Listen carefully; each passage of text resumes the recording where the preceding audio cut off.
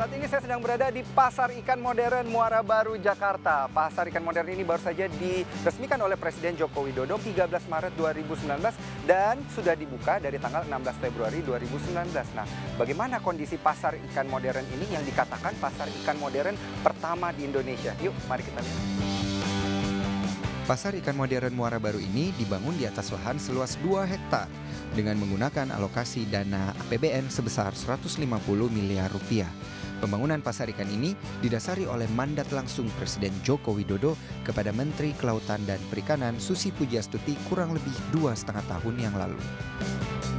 Mirip dengan pasar Tsukiji yang ada di Jepang yang terkenal dengan kebersihannya, pasar ikan modern ini juga dibangun dengan mengutamakan konsep kenyamanan dan kebersihan.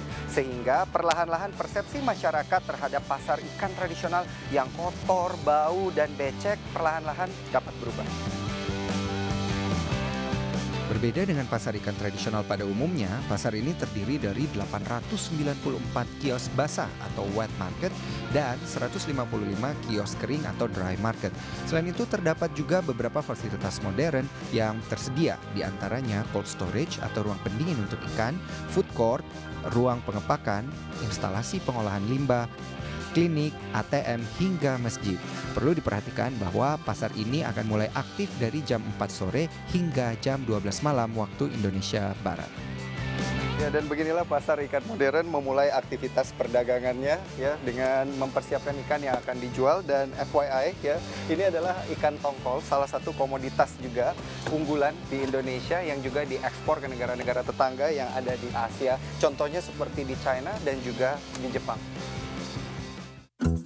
Data dari BPS menunjukkan bahwa per tahun 2018, berdasarkan lapangan usaha, sektor pertanian, kehutanan, dan perikanan berkontribusi terbesar ketiga bagi pertumbuhan ekonomi Indonesia, yaitu sebesar 1.900 triliun rupiah Nenek moyangku adalah seorang pelaut dan Indonesia adalah negara yang dikelilingi oleh lautan. Inilah yang mendorong PDB sektor perikanan Indonesia yang tumbuh cukup tinggi.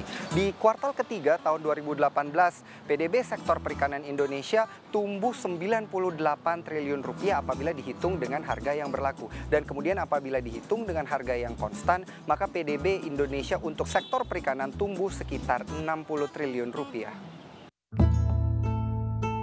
Ada gula, ada semut.